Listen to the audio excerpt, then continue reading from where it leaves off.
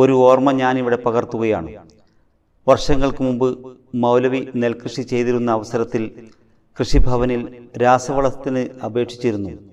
എന്നാൽ വിളവെടുപ്പിന് ശേഷമാണ് അത് ലഭിച്ചത്. ആ രാസവളം തോട്ടത്തിൽ ഉപയോഗിക്കാമായിരുന്നിട്ടും അദ്ദേഹം അത് നിരസിച്ചു. കാരണം നെൽകൃഷിക്കാണ് മൗലവി വളം ആവശ്യപ്പെട്ടത്. അത് അപ്പോൾ ലഭിച്ചില്ല. എന്നാൽ അത് മറ്റൊരാവശ്യത്തിന് ഉപയോഗിക്കുവാൻ മൗലവിയുടെ മനസാക്ഷി അനുവദിച്ചില്ല.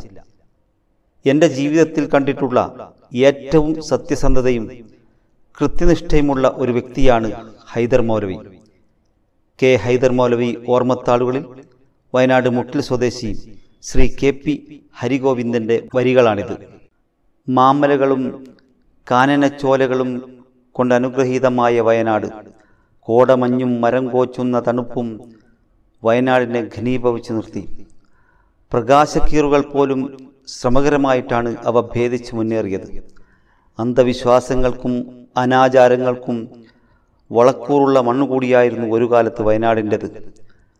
ചാത്തനും ഗുളികനും ജിന്നും ഒടിയനും തളം കെട്ടി നിർത്തിയ കൂരാ കൂരിട്ടിലേക്ക് തൊള്ളായിരത്തി നാൽപ്പതുകളിൽ ഇസ്ലാഹിന്റെ ദീപശിഖയുമായി ചുരം താണ്ടിയെത്തിയ നവോത്ഥാന നായകനാകുന്നു കെ ഹൈദർ മൗലവി. മലപ്പുറം ജില്ലയിലെ തിരൂരിനടുത്ത് താനാളൂരിലെ ഫരീദുദ്ദീൻ ആയിഷ ദമ്പതിമാരുടെ മൂന്ന് മക്കളിൽ ഇളയ മകനായി ആയിരത്തി തൊള്ളായിരത്തി ഇരുപത്തിരണ്ടിൽ അദ്ദേഹം ജനിച്ചു. താനാളൂരിലെ ലോവർ പ്രൈമറി പഠനത്തിനു ശേഷം പൊന്മുണ്ടം പള്ളിദർസ് താനാളൂർ പള്ളിദർസ് നൂറുൽ ഇസ്ലാം തിരുരങ്ങാടി എന്നിവിടങ്ങളിൽ ഉപരിപഠനം നടത്തി. താനാളൂർ ജുമാ മസ്ജിദിൽ ജോലി ചെയ്യുന്നതിനിടെയാണ് മൗലവി വയനാട് ചുരം താണ്ടാനായി വന്നത്. പിന്നീട് ജീവിതാന്ത്യം വരെയും അദ്ദേഹം വയനാട്ടിലെ മുട്ടിൽ എന്ന ഗ്രാമത്തിലാണ് ജീവിച്ചത്. ഇവിടെ വെച്ചാണ് അദ്ദേഹത്തിന്റെ വിവാഹം നടന്നതും. സെയ്ത്തുത്ത എന്ന് നാട്ടുകാർ സ്നേഹത്തോടെ വിളിച്ചിരുന്ന സൈനബയാണ് അദ്ദേഹത്തിന്റെ ജീവിതപാതി ഞങ്ങളുടെ വന്യപിതാവ് ഹൈദർ മൗലവി. മലപ്പുറം ജില്ലയിലെ താന്നാളൂരിൽ ജനിച്ചു വളർന്ന അദ്ദേഹം പെട്ടെന്നാണ് വയനാട്ടിലേക്ക് പറിച്ചു നട്ടത്. കൊച്ചു നാടുകളിൽ തന്നെ ഉമ്മയും ഉപ്പയും മരിച്ചതോടെ അനാഥമായ അദ്ദേഹത്തിന്റെ ബാല്യം കുറച്ചു കാലം പള്ളി ദറസുകളിലും മറ്റുമായി പഠിച്ചുകൊണ്ടും മറ്റുള്ളവരിൽ നിന്ന് കാര്യങ്ങൾ മനസ്സിലാക്കിയും ഏതാനും കാലം ജീവിച്ചു. ജന്മനാടായ താനാളൂരിൽ തന്നെയായിരുന്നു അദ്ദേഹത്തിന്റെ ആദ്യകാല പഠനവും പ്രവർത്തനങ്ങളുമൊക്കെ.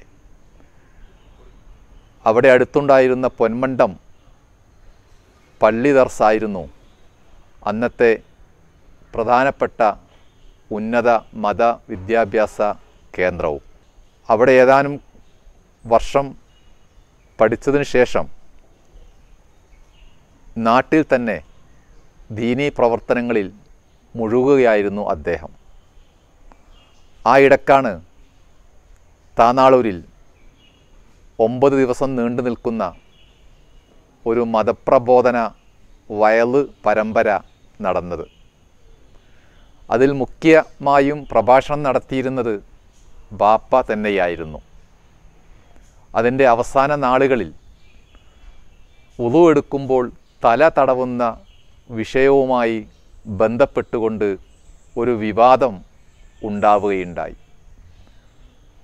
തല ഒരിക്കൽ തടവിയാൽ മതി അതാണ് നബിയുടെ സുന്നത്ത് എന്ന വശം അദ്ദേഹത്തിന്റെ സംസാരത്തിൽ വന്നപ്പോൾ അത് വലിയ കോളിളക്കം സൃഷ്ടിക്കുകയായിരുന്നു.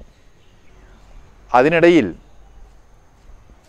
വയനാട് കാണുക എന്ന മോഹവുമായിട്ടാണ് അദ്ദേഹം വയനാട്ടിലെത്തുന്നത്. അവിടെ എത്തിയപ്പോൾ അദ്ദേഹത്തിന്റെ പഴയ കൂട്ടുകാരനായ ഹംസ മുസ്ലിയാർ വയനാട്ടിലെ വൈത്തിരി മഹല്ല് പള്ളിയിൽ ജോലി ചെയ്യുകയായിരുന്നു. ആ ഇടക്കാണ് കുറച്ചപ്പുറത്തുള്ള മുട്ടിൽ എന്ന സ്ഥലത്ത് പള്ളിയിലേക്ക് ഒരു ഇമാമിന് ആവശ്യമുണ്ട് എന്ന് പറഞ്ഞുകൊണ്ട് ദൂതൻ ഹംസ മുസ്ലിയാരെ സമീപിക്കുന്നത്. ഹംസ മുസ്ലിയാരുടെ അടുത്ത് അതിഥിയായെത്തിയ ബാപ്പയെ തൽക്കാലത്തേക്ക് മുട്ടിൽ എന്ന ഗ്രാമത്തിലേക്ക് അയക്കുകയും ചെയ്തു. ജാതി മതഭേദമന്യേ സർവമനുഷ്യരോടും നിഷ്കളങ്കമായ സ്നേഹമായിരുന്നു മൗലവിക്കുണ്ടായിരുന്നത്. ആളുകൾക്ക് അദ്ദേഹത്തോടും അങ്ങനെ തന്നെയായിരുന്നു. വയനാടിന്റെ മനോഹരമായ പച്ചപ്പ് പോലെ അദ്ദേഹത്തിന്റെ മനസ്സും ഹരിതാപമായിരുന്നു. മുസ്ലിം സമൂഹത്തിലെ പണ്ഡിതന്മാർക്ക് മാതൃകയാക്കാവുന്ന നല്ലൊരു കർഷകൻ കൂടിയാണ് ഹൈദർ മൗലവി. ബനിയനും തോർത്തും ധരിച്ച് തന്റെ പാടത്തും പറമ്പത്തും എല്ലുമുറിയെ പണിയെടുക്കുന്ന മൗലവി ഇസ്ലാം പ്രോത്സാഹിപ്പിച്ച കൃഷി സംസ്കാരത്തെ നിത്യജീവിതത്തിലൂടെ സാക്ഷാത്കരിച്ച അപൂർവം പണ്ഡിതരിൽ ഒരാളാണ്. സ്വാതന്ത്ര്യ സമര സേനാനിയും കോൺഗ്രസ് നേതാവുമായിരുന്ന എ വി കുട്ടിമാളു അമ്മയുടെ സഹോദരനും മുട്ടിലെ പൗര പ്രമാണിയുമായിരുന്ന എ വി രാധാഗോപി മേനോനിന്റെ കുടുംബത്തിൽ മൗലവിയെ അനുസ്മരിക്കുന്നു. ഹൈദരു മുസ്ലിയാർ എന്നാണ് ഞങ്ങൾ പറയുക. അദ്ദേഹവും ഞങ്ങൾ കുടുംബവുമായിട്ട് വളരെയധികം അടുപ്പമുള്ളതാണ്. എന്റെ അച്ഛൻ പി വി രാധാഗോപനുമായിട്ട് വളരെ അടുത്ത ബന്ധമാണ്. അതുപോലെ അച്ഛന്റെ പെങ്ങൾ എ വി കുട്ടിമാളമ്മ ഇവിടെ വരുന്ന ഞങ്ങളുടെ അടുത്ത് വരുന്ന സമയത്തെല്ലാം മുസ്ലിയാർ ഇവിടെ വന്ന് അവരുമായി സ്നേഹബന്ധങ്ങൾ പുലർത്താറുണ്ടായിരുന്നു. അത്ര അടുത്തുള്ള ബന്ധമായിരുന്നു ഞങ്ങൾ തമ്മിൽ. അതുപോലെ മൂപ്പർ ചെറു ചെറുകിട കൃഷിക്കാരനും കൃഷിക്കാരനും കൂടിയായിരുന്നു. ഞങ്ങൾ അയൽവാസികളാണ്. ഒരു തോടിന്റെ അക്കരയും ഇക്കരയും ഉള്ള വയലുകളിൽ കൃഷിയെടുക്കുന്ന ഒരു കൃഷി എടുക്ക എടുക്കാറുണ്ടായിരുന്നു. ഞങ്ങളുടെ ഞങ്ങൾ കൃഷിക്കാർ എന്ന നിലയിൽ വളരെ ആത്മ സുഹൃത്തുക്കളായിരുന്നു. അന്നത്തെ കാലത്ത് രാവിലെ ആറു മണിക്ക് ഞാൻ വയലിൽ ചെല്ലുമ്പോൾ മുസ്ലിയാർ വയലിൽ എത്തിയിട്ടുണ്ടാവും അദ്ദേഹം ശരിയായ കൃഷിക്കാരന്റെ നിലയിൽ തോർത്തുമുണ്ടും ബണിയനും എടുത്ത് ധരിച്ചുകൊണ്ട് വയൽ കളിക്കുന്നുണ്ടാവും അപ്പോൾ. രാവിലെ തന്നെ കണ്ട് ലോക്യം പറഞ്ഞ് അദ്ദേഹം അദ്ദേഹത്തിന്റെ ജോലിയും അദ്ദേഹം തന്നെയാണ് ആ ഒരേക്കർ വയലോളം ഉണ്ടല്ലേ? ഒരേക്കറും വയലോളം കൃഷിയും അദ്ദേഹം ഒറ്റയ്ക്ക് തന്നെയാണ് ചെയ്തിരുന്നത്. വരമ്പ് തറയ്ക്കലും അതുപോലെ വരമ്പ് പൊതിയലും സഹായത്തിന് ആദിവാസി ചാമൻ എന്ന ആദിവാസിയും കൂടെ ഉണ്ടാവും. ഒരു ഒമ്പത് ഒമ്പതര വരെ പണിയെടുത്തു കഴിഞ്ഞാൽ അദ്ദേഹം കുളിച്ച് പിന്നെ കുട്ടമംഗലം മദ്രസയിലേക്ക് പോകുന്ന ഞങ്ങളുടെ വയലിൽ കൂടിയാണ് അദ്ദേഹം പോവുക. വയനാടിന്റെ ചരിത്രത്തിൽ എന്നും സ്മരിക്കപ്പെടുന്ന എല്ലാവരുടെയും ഉസ്താദും വിനയാന്വിതനും മിതഭാഷിയും സർവോപരി മതഭക്തനുമായ മൗലവി തന്റെ വാർദ്ധക്യത്തിലും ബന്ധുജനങ്ങളെ സന്ദർശിക്കാൻ പ്രത്യേകം ശ്രദ്ധിച്ചിരുന്നു. ഈ സന്ദർഭത്തിൽ ഹൈദർ മൗലവിയെ ഓർക്കാതിരിക്കാൻ നിർവാഹമില്ല. ശാരീരികമായ അവശതകൾ ഉണ്ടായ സന്ദർഭത്തിലും അദ്ദേഹം തന്റെ മക്കളുടെ കൈകളിൽ ഊന്നി ബന്ധുവീടുകളിൽ നടക്കുന്ന വിശേഷങ്ങളിൽ പങ്കെടുക്കാൻ പോകുന്നത് ഞാൻ കാണുകയുണ്ടായി. ഹൈദർ മൗലവി എല്ലാവർക്കും ഉസ്താദാണ്. ഉസ്താദ് എന്ന പദവും അധ്യാപകൻ എന്ന പദവും തമ്മിൽ വളരെയേറെ വ്യത്യാസമുണ്ട്. ആത്മീയതയുടെ അംശം കലരുന്ന അധ്യാപകന് മാത്രമേ ഉസ്താദ് എന്ന വിശേഷണം നൽകുകയുള്ളൂ. അദ്ദേഹത്തിന്റെ ശിഷ്യഗണങ്ങളായി നിരവധി പേരുണ്ട്.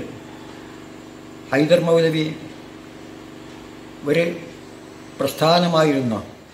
ഒരു വ്യക്തി സ്വന്തം ജീവിതത്തിന്റെയും സൗകര്യങ്ങളുടെയും കാര്യത്തിൽ മാത്രം ശ്രദ്ധയൂന്നാതെ മറ്റുള്ളവരുടെ നന്മയ്ക്ക് വേണ്ടി പ്രവർത്തിക്കുമ്പോൾ മാത്രമേ അദ്ദേഹത്തിന് പ്രസ്ഥാനം എന്ന് പറയാൻ പറ്റുകയുള്ളൂ.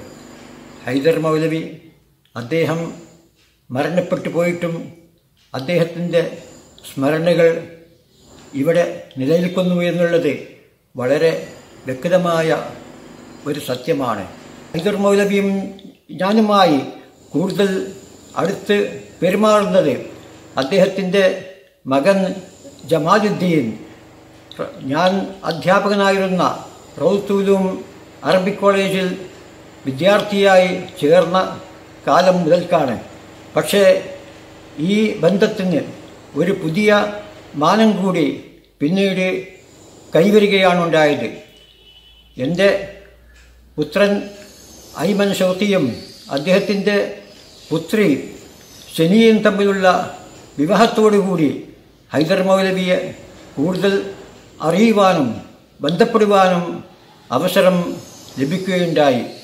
പതിറ്റാണ്ടുകൾക്കപ്പുറം വയനാടിന്റെ കൂരിരുട്ടിൽ റാന്തൽ വിളക്കിന്റെ വെളിച്ചത്തിൽ അദ്ദേഹം നടത്തിയ ഖുർആൻ പഠന ക്ലാസുകൾ അനേകം പേർക്ക് വെളിച്ചം ലഭിക്കാൻ കാരണമായി. വയനാടിന്റെ മുജദ്ദിദ് എന്ന് വിശേഷിപ്പിക്കാവുന്ന ഹൈദർ മൗലവിയാണ് അവിടെ നവോത്ഥാന പ്രവർത്തനങ്ങൾക്ക് വൈജ്ഞാനിക അടിത്തറ പാകിയത് ഞങ്ങളെ സംബന്ധിച്ച് പ്രത്യേകിച്ച് വയനാട്ടുകാരെ സംബന്ധിച്ച് അദ്ദേഹം ഒരു പരിഷ്കർത്താവാണ്. അതുകൊണ്ടാണ് മുജദ്ദിദാണ് ഹൈദർ മൗലവി സാഹിബ് എന്ന് ഞങ്ങൾ പറയാനുള്ള കാരണം. തിരൂരങ്ങാടിയിൽ കെ എം മൗലവി സാഹിബും അരീക്കോട്ട് എൻ വി അബ്ദുസ്സലാം മൗലവിയും എടവണ്ണയിൽ എ അലവി മൗലവിയും ഒക്കെ നിർവഹിച്ച ദൗത്യമാണ് വയനാട്ടിൽ ഹൈദർ മൗലവി സാഹിബ് നിർവഹിച്ചിട്ടുള്ളത്. തൗഹീദിന്റെ മഹത്തായ വെളിച്ചം മനസ്സിൽ സൂക്ഷിച്ച മൗലവി സാഹിബ് വളരെ പടിപടിയായാണ് വയനാട്ടുകാരെ ഉദ്ധരിച്ചിട്ടുള്ളത്. എന്റെ മനസ്സിൽ തെളിഞ്ഞു വരുന്ന ഒരു ഓർമ്മ ആയിരത്തി തൊള്ളായിരത്തി എഴുപതുകളിലായിരിക്കണം ഹൈദർ മൗലവി സാഹിബും സഹപ്രവർത്തകരും ഇവിടെയുള്ള ഓലമേഞ്ഞ വീടുകളിൽ അദ്ദേഹം സഹപ്രവർത്തകരും റാന്തൽ വിളക്കിന്റെ പെട്രോമാക്സിന്റെ അരണ്ട വെളിച്ചത്തിലാണ് ഖുർആൻ ക്ലാസ് എടുത്തിരുന്നത് എന്നുള്ളത് എന്റെ മനസ്സിലേക്ക് കടന്നു വരുന്ന വളരെ തെളിച്ചമുള്ള ഓർമ്മയാണ്. ഞങ്ങളൊക്കെ അന്ന് കുട്ടികളാണ്. കുട്ടികളായ ഞങ്ങളും അത്തരം ക്ലാസ്സുകളിലൊക്കെ പങ്കെടുത്തിട്ടുണ്ട്. എനിക്ക് തോന്നുന്നു കുട്ടമംഗലത്തിന്റെ നവോത്ഥാന ഉണർവിന് അടിത്തറയിട്ടത് ഹൈദർ മൗലവി സാഹിബ് അദ്ദേഹത്തിന്റെ ഖുർആൻ ക്ലാസ്സുകളിലൂടെയായിരുന്നു. അദ്ദേഹം ഒരുപാട് ആളുകളെ ഈ രംഗത്തേക്ക് കൊണ്ടുവരികയും ഖുർആൻ പഠിപ്പിക്കുകയും ചെയ്തിട്ടുണ്ട്. സമൂഹത്തെ സമുദ്ധരിക്കുന്നതിനിടയിലും സ്വന്തം കുടുംബത്തിന് ഖുർആൻ പാഠങ്ങളും തർബീയത്ത് ചിന്തകളും നൽകാൻ മൗലവി തന്റെ കൊച്ചു വീട്ടിൽ പ്രത്യേകം സൗകര്യമൊരുക്കിയിരുന്നു. അദ്ദേഹം തന്നെയായിരുന്നു ഞങ്ങൾ പത്ത് മക്കളുടെയും ആദ്യ ഗുരു എന്ന് പറയാം. ഖുർആൻ പാരായണവും തജ്വീദിന്റെ നിയമങ്ങളും അറബി ഭാഷയുടെ പ്രാഥമിക ഭാഗങ്ങളുമൊക്കെ ഞങ്ങളൊക്കെ കേട്ടതും പഠിച്ചതും ഏറെക്കുറെ അത് ആഴത്തിൽ മനസ്സിലാക്കിയതും അദ്ദേഹത്തിന്റെ വിദ്യാഭ്യാസത്തിലൂടെയും അധ്യാപനത്തിലൂടെയുമായിരുന്നു എന്നത് എടുത്തു പറയേണ്ട കാര്യമാണ്. ഞങ്ങളുടെ എല്ലാം കുട്ടിക്കാലത്ത് തൊള്ളായിരത്തി അറുപത്തി അഞ്ച് അറുപത്തിയാറ് ആ കാലത്ത് ഞങ്ങളുടെ കൊച്ചു വീടിൽ ഒരു ബോർഡ് കാണാനുണ്ടായിരുന്നു.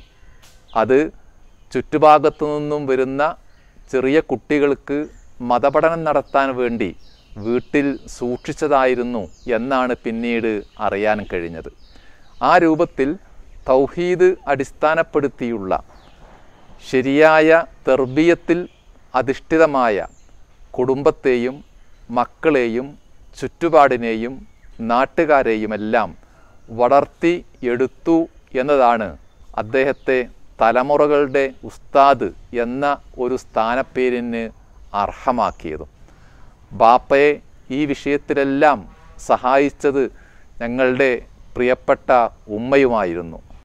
നാടിന്റെ പുരോഗതിക്കും സുരക്ഷയ്ക്കും വിദ്യാഭ്യാസത്തിന്റെ പ്രാധാന്യം തിരിച്ചറിഞ്ഞ ഹൈദർ മൗലവി ഓരോ കുടുംബത്തിനും ഓരോ സർക്കാർ ഉദ്യോഗസ്ഥൻ എന്ന ദീർഘവീക്ഷണത്തോടുകൂടെ പ്രവർത്തിച്ചതിന്റെ ഫലമാണ് ആയിരത്തി തൊള്ളായിരത്തി എൺപതുകളിൽ കേവലം നൂറ് വീടുകൾ മാത്രമുണ്ടായിരുന്ന ഒരു കൊച്ചു ഗ്രാമത്തിൽ നിന്ന് മുപ്പതിലേറെ സർക്കാർ ഉദ്യോഗസ്ഥരുണ്ടായിരുന്നത്. ഒരു ഗ്രാമത്തെ പരിവർത്തിപ്പിക്കുന്നതിൽ ക്രാന്തദർശിയോടെ പ്രവർത്തിച്ച ഒരു മഹാപണ്ഡിതനാണ് ഹൈദർ മൗലവി. വിദ്യാഭ്യാസ രംഗത്ത്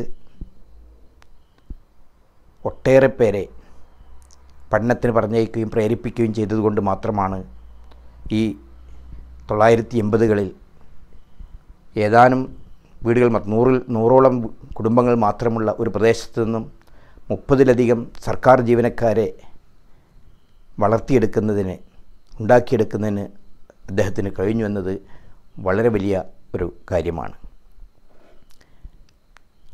മലപ്പുറം ജില്ലയിലെ അരീക്കോടിന് സമാനമായ ഒരു പ്രദേശമാക്കി മുട്ടിലിനടുത്ത കുട്ടമംഗലം ഗ്രാമത്തെ മാറ്റിയെടുക്കുന്നതിൽ അദ്ദേഹത്തിന്റെ പങ്ക് വളരെ വലുതാണ്. അദ്ദേഹത്തിന്റെ മകൾ മൈമൂനത്ത് അദ്ദേഹത്തിന്റെ മൂത്ത മകളാണ്. പതിനെട്ടാമത്തെ വയസ്സിൽ ഒരു അധ്യാപികയായി ജോലിയിൽ പ്രവേശിപ്പിക്കാൻ അദ്ദേഹത്തിന് കഴിഞ്ഞു. സ്വന്തം മക്കളെ മുഴുവൻ അധ്യാപകരാക്കാൻ അദ്ദേഹത്തിന് സാധിച്ചിട്ടുണ്ട്. തൻ സ്വന്തം മക്കളെ മാത്രമല്ല തന്റെ ഗ്രാമത്തിലെ ഓരോ വീട്ടിലും ഓരോ സർക്കാർ ഉദ്യോഗസ്ഥർ അല്ലെങ്കിൽ അധ്യാപകർ ഉണ്ടാക്കിയെടുക്കുക അല്ലെങ്കിൽ ഉയർന്ന നിലയിൽ എത്തുന്ന തരത്തിൽ അറബി കോളേജുകളായിട്ടാണെങ്കിലും കോളേജുകളിലായിട്ടാണെങ്കിലും സ്കൂളുകളിലായിട്ടാണ് പറഞ്ഞയച്ച് പഠിപ്പിക്കുന്നതിൽ അദ്ദേഹത്തിന്റെ ശ്രദ്ധ വളരെ വലുതായിരുന്നു. ഓരോ വ്യക്തിയെ കാണുമ്പോഴും അദ്ദേഹം അന്വേഷിക്കുന്നത് കുട്ടികളുടെ പഠനത്തെക്കുറിച്ചായിരുന്നു. അത്രയും പഠനരംഗത്ത് കുട്ടികളെ പറഞ്ഞയക്കുന്നതിലും വളർത്തിയെടുക്കുന്നതിലും അദ്ദേഹം വഹിച്ച പങ്ക് വളരെ വലുതായിട്ട് നമുക്ക് കാണാൻ കഴിയും. അദ്ദേഹം ആയിരത്തി തൊള്ളായിരത്തി എഴുപത്തിയഞ്ചിൽ ഈ പ്രദേശത്ത് ഒരു അറബി കോളേജ് ആരംഭിക്കുകയുണ്ടായി. ആ അറബി കോളേജാണ് പിന്നീട് കൽപ്പറ്റയിലെ അസ്ഗർ കോളേജായി പരിവർത്തിപ്പിക്കപ്പെട്ടത്. ഖുർആൻ ഹദീസ് എന്നിവയ്ക്ക് പുറമെ കർമ്മശാസ്ത്രത്തിലും അഗാധ പാണ്ഡിത്യമായിരുന്നു മൗലവിക്ക്. അദ്ദേഹത്തിന്റെ ഓരോ കുത്തുബയും അറിവുകൊണ്ട് ആഴമുള്ളതും അവതരണം കൊണ്ട് ലളിതവുമായിരുന്നു. നിരവധി പേർ സംശയ നിവാരണത്തിനും ഫത്വക്കും അദ്ദേഹത്തെ സമീപിക്കാറുണ്ടായിരുന്നു.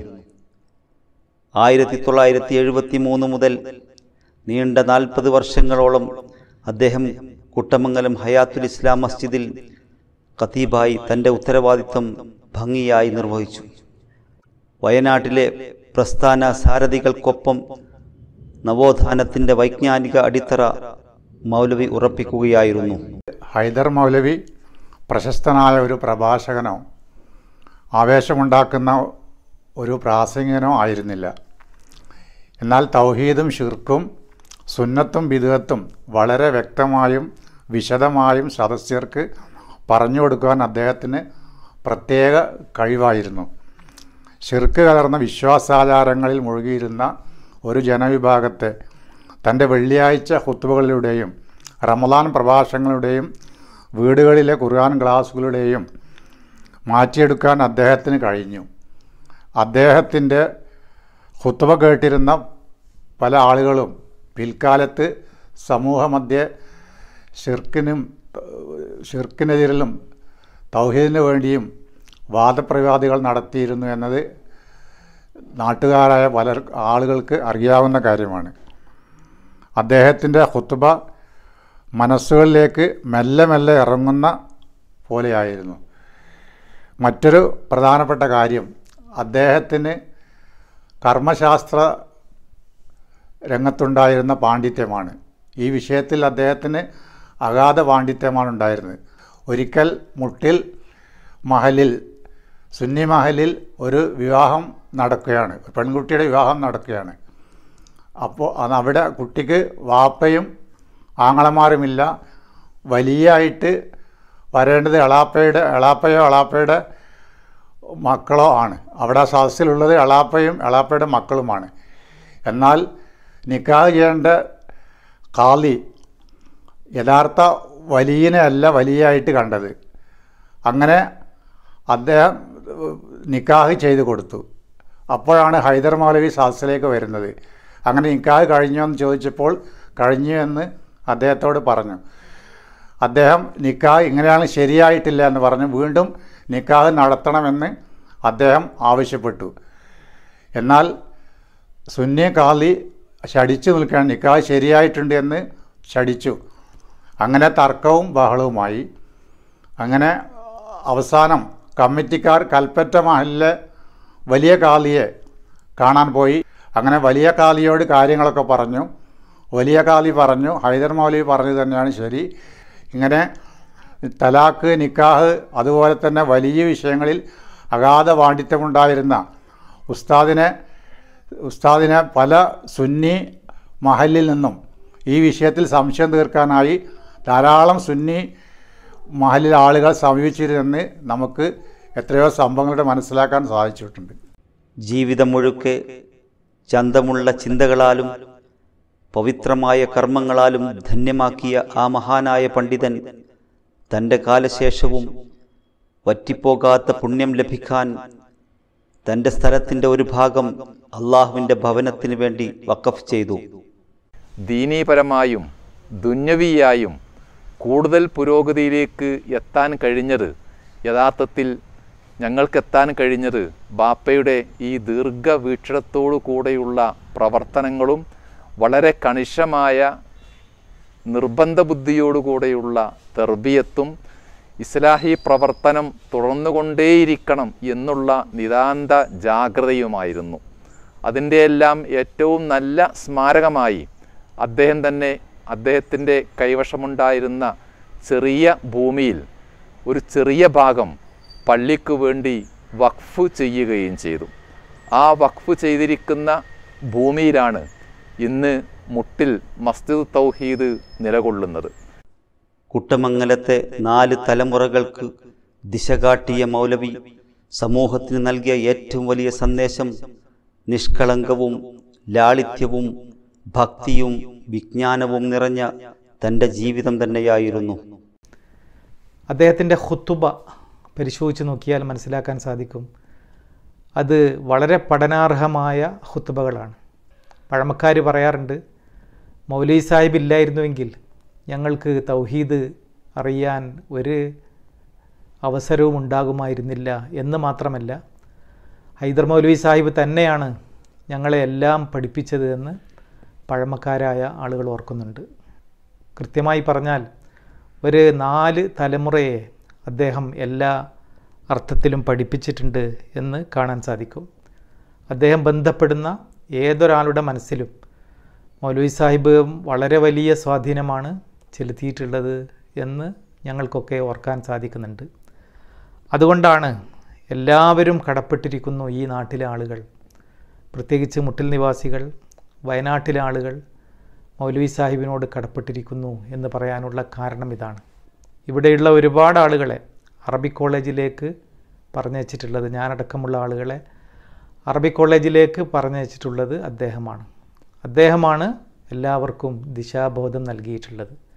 ഏറ്റവും വലിയ സാക്ഷ്യമായിട്ടുള്ളത് അദ്ദേഹത്തിന്റെ സ്വന്തം കുടുംബം തന്നെയാണ്.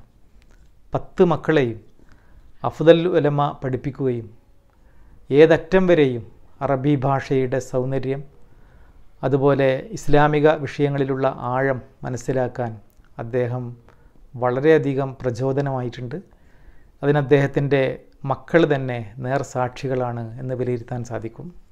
സാമ്പത്തിക പ്രതിസന്ധികൾ ഉണ്ടായിട്ടും മുതലാളിമാരുടെ പണത്തിന് മുന്നിൽ തന്റെ ആദർശം ബലികഴിക്കാൻ ധീരനായ ഹൈദർ മൗലവി തയ്യാറായില്ല. തന്റെ മരണം വരെയും ആദർശത്തിൽ വിട്ടുവീഴ്ച ചെയ്യാൻ അദ്ദേഹം ഒരിക്കലും ഒരുക്കമായിരുന്നില്ല. ഹൈദർ മൗലവിയാണ് അന്ന് ഈ മദ്രസ പഠനത്തിനൊക്കെ നേതൃത്വം കൊടുത്തത്. വളരെയധികം ശിഷ്യഗണങ്ങളുള്ള ഒരു മഹാപണ്ഡിതനാണ് അദ്ദേഹം. അന്നൊക്കെ ഒരു കാലഘട്ടത്തിൽ ബൂർഷകളുടെ കീഴിൽ പണ്ഡിതവർഗമൊക്കെ വളരെ അമർന്നു കഴിഞ്ഞിരുന്ന ഒരു കാലഘട്ടത്തിൽ പണ്ഡിതന്മാരെയൊക്കെ വിലക്ക് വാങ്ങുന്ന ഒരു കാലഘട്ടമായിരുന്നു അന്ന്. അന്ന് മുതലാളിത്തം വല്ലാതെ ശക്തി ഉള്ള ഒരു സമയമായിരുന്നു. അന്ന് അദ്ദേഹത്തെ വയനാട്ടിൽ അറിയപ്പെടുന്ന കക്കോടൻ മമ്മുഹാജി ഒക്കെ കല്ലങ്കോടൻ കുഞ്ഞമ്മദ് ഹാജി അവരൊക്കെ അദ്ദേഹത്തെ പലപ്പോഴും ക്ഷണിച്ചിരുന്നു. ക്ഷണം സ്വീകരിച്ചാലും അദ്ദേഹം അവിടെ പോയി വരിക എന്നല്ലാതെ അവരോടൊരു എന്തെങ്കിലും സംഭാവന വാങ്ങുകയോ അല്ലെങ്കിൽ അതിന് ചോദിക്കുകയോ ഒന്നും ചെയ്യാറില്ല. അന്ന് എന്ത് വേണമെങ്കിലും കൊടുക്കാൻ അവർ തയ്യാറായിരുന്നു. കാരണം മമ്മുവാജിയെ സംബന്ധിച്ചിടത്തോളം ഹൈദർ മൊബൈലിൽ കിട്ടുക എന്ന് പറഞ്ഞാൽ വളരെ വലിയൊരു കാര്യമായിരുന്നു.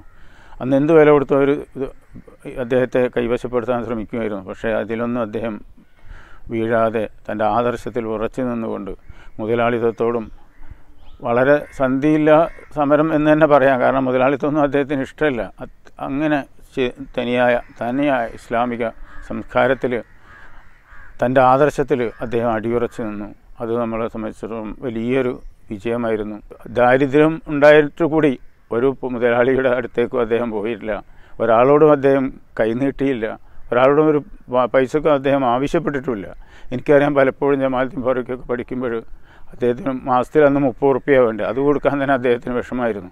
അപ്പോൾ അത്രയും ത്യാഗം സഹിച്ച് ഇട്ടുകൂടെ ഈ പ്രസ്ഥാനത്തിന് ഇത്ര വലിയ വയനാട്ടിൽ ഒരറിയപ്പെടുന്ന പ്രസ്ഥാനമാക്കി മാറ്റുന്നതിൽ ഏറ്റവും മുന്തിയ പ്രവർത്തനം നടത്തിയത് ഹൈദർമൗലിയാണെന്നുള്ള കാര്യത്തിൽ യാതൊരു സംശയമില്ല അറബി ഭാഷയെ സ്നേഹിച്ച മൗലവി കേരളീയ മുസ്ലിം ചരിത്രത്തിൽ തുല്യതയില്ലാത്ത വിധം തന്റെ പത്ത് മക്കളെയും ഉന്നത പഠനത്തിന് അയച്ചത് അറബി കോളേജുകളിലേക്കായിരുന്നു.